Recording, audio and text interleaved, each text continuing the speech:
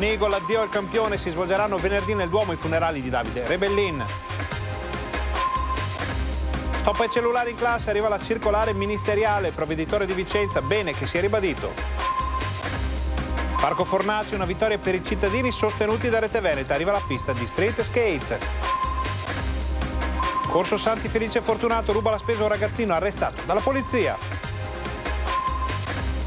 Controlli delle forze dell'ordine ad Arzignano, due minori sorpresi alle slot, sanzionati i titolari di un locale. Passaggio di consegna Andrea Gattuso, nuovo comandante dei Vigili del Fuoco di Vicenza.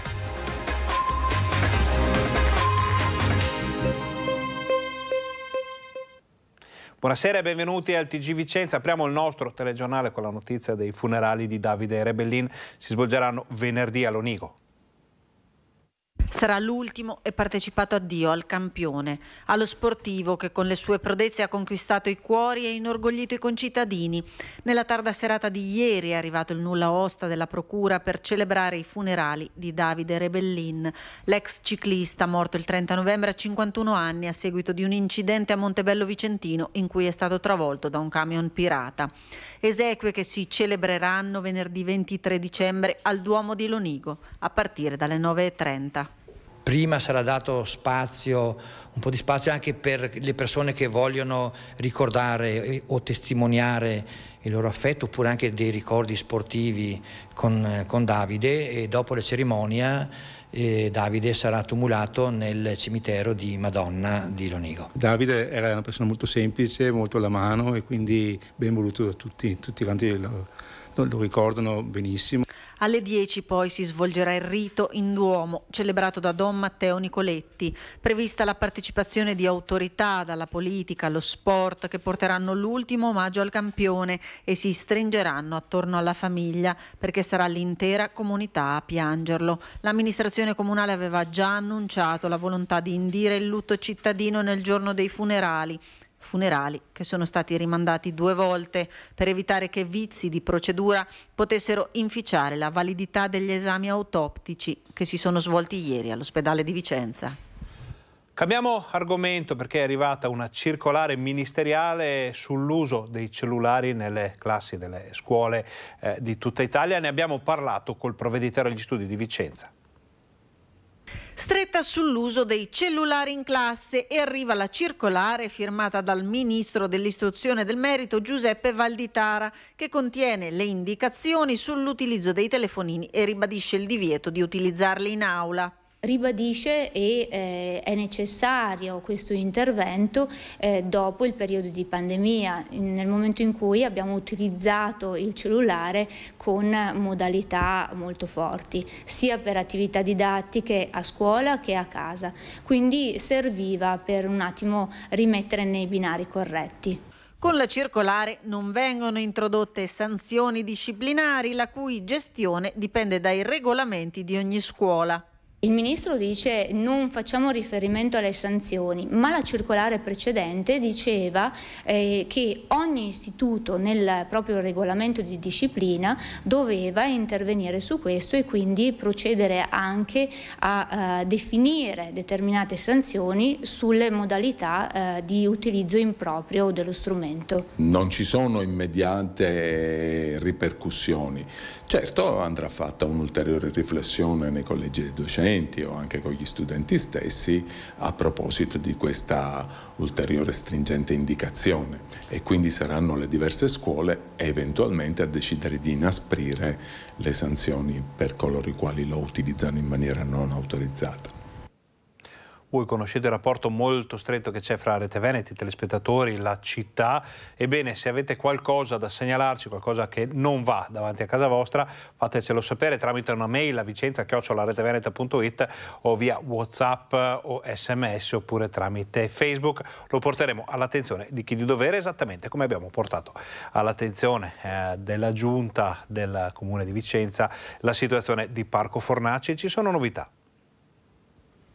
Il Parco Fornaci è un parco importante, è stato forse l'ultimo parco inaugurato proprio da un'amministrazione eh, di centrodestra e l'obiettivo appunto è quello di riqualificarlo. Sappiamo che ci sono delle criticità, ma lo sport aiuta anche a fare questo e quindi la creazione di uno skate park eh, street, quindi dedicato proprio a chi vuole entrare in questo, in questo sport, che tra l'altro è uno sport olimpico e quindi l'obiettivo è quello di occupare, diciamo così, positivamente i parchi della città con lo sport, con ragazzi, bambini e bambine che fanno attività sportiva. La giunta comunale ha finalmente approvato il progetto definitivo di ampliamento per la pista di skateboard al Parco Fornaci nel quartiere del Mercato Nuovo. Una vittoria anche per noi di Rete Veneta che avevamo portato agli assessori competenti la voce di molti cittadini che chiedevano da tempo la possibilità di implementare le strutture di questa disciplina olimpica anche per dissuadere la zona alla microcriminalità. Ed è uno sport che anche eh, fa sì che tutte le varie generazioni, dai più piccoli ai più grandi, riescano a condividere la stessa passione insieme. Credo che sia inaccettabile che la città non sia dotata appunto di un'area street per lo skate. Negli anni la, quest'area è stata salvata, diciamo così, anzi con sicurezza lo diciamo, da eh, quello che è stato spaccio, degrado e questo genere di, di, cose. Noi chiediamo appunto di poter eh, avere o poter creare questa nuova area per dare più forza proprio alla, alla, alla vita sociale del parco. Sostenitore della bontà del progetto anche l'assessore Marco Zocca, che anche grazie alla nostra insistenza ha trovato tra le pieghe del bilancio i 200.000 euro necessari per l'investimento. Sì, eh, do atto, voi ci avete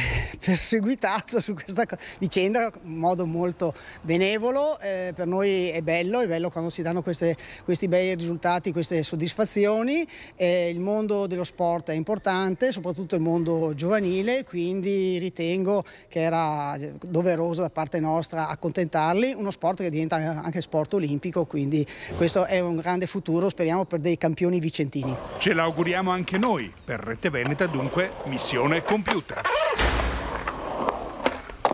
Passiamo alla cronaca, ruba la spesa un ragazzino arrestato dalla polizia. Sono le sei e mezza di sera e il buio è già caduto per strada. In corso Santi Felice Fortunato, un 25enne del Burkina Faso strappa una borsa dalle mani di un ragazzino minorenne che sta rientrando a casa dopo essersi recato al supermercato. La giovane vittima grida e le sue urla arrivano a suo padre che dalla finestra di casa lo vede e chiama il 113 descrivendo lo straniero. Gli agenti con una pattuglia lì vicina si precipitano sul posto e ascoltano la vittima che conferma sarebbe stata rapinata, strattonata e minacciata con delle chiavi dal 25enne africano. Intercettato il presunto responsabile, è stato arrestato con l'accusa di rapina aggravata. Ancora cronaca, è stato arrestato anche il secondo autore della rapina ai danni di un anziano a Vicenza. I carabinieri arrestano anche il secondo malfattore protagonista con un altro uomo di un colpo messo a segno domenica sera a Vicenza, vittima un 76enne che in via Zampieri aveva appena ritirato una vincita di 200 euro in un locale e l'aveva messa nel suo borsello. L'anziano però era stato preso di mira da due malviventi che lo avevano seguito e scaraventato a terra derubandolo mentre uno dei due aggressori, un italiano di 28 anni, sarebbe stato bloccato da alcuni residenti e arrestato dai carabinieri, il secondo, uno straniero, si sarebbe dato prontamente alla fuga. L'anziano intanto nel cadere aveva riportato delle serie fratture che lo avevano costretto al ricovero in ospedale. Subito si era scatenata la caccia al secondo rapinatore. Oggi, grazie alle testimonianze e ai filmati delle telecamere di videosorveglianza, i carabinieri lo hanno individuato. Si tratta di un 23enne della Guinea, senza fissa dimora e irregolare in Italia. Il giovane rintracciato è stato sottoposto a fermo di indiziato di delitto e portato portato nella casa circondariale di Vicenza a disposizione dell'autorità giudiziaria.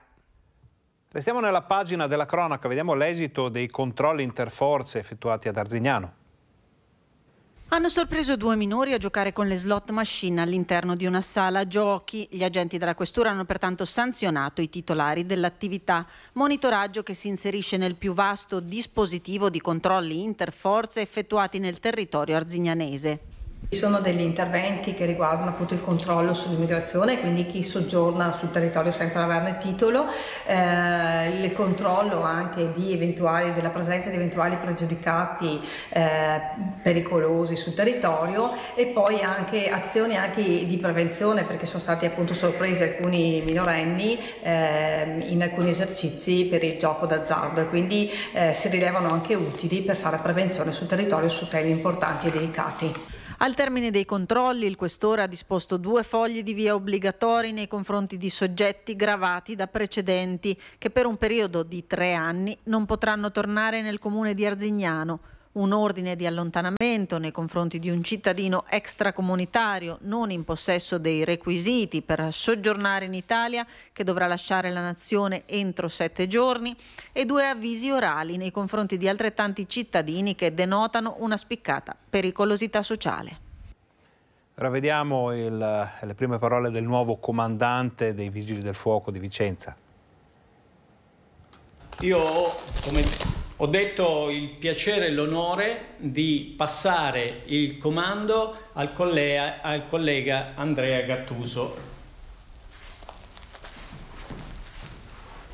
Quindi da oggi è lui il nuovo comandante dei Vigili del Fuoco di Vicenza. Un gesto semplice simbolico che sancisce ufficialmente il cambio al vertice del comando dei Vigili del Fuoco della provincia di Vicenza. L'avvicendamento è avvenuto nella sede principale di Via Farini, dove il reggente, l'architetto Giuseppe Costa, comandante uscente, tornando ad occuparsi a tempo pieno della provincia di Treviso, ha affidato la provincia berica ad Andrea Gattuso, 58 anni, ingegnere, originario di Reggio Calabria, dove dal 95 era vicecomandante. Ha partecipato alle operazioni di soccorso alla all'alluvione di Sarno nel 98 e a quelle per il terremoto in Abruzzo nel 2009. La promozione di quest'estate mi ha consentito di ritornare, ritornare al, al nord e devo dire con grande entusiasmo, anche se Vicenza non la conosco, ma so che è una sede importante, una provincia molto importante e diciamo oltre l'emozione che ho in questo momento, questo giorno di passaggio di consegne col eh, comandante precedente Costa,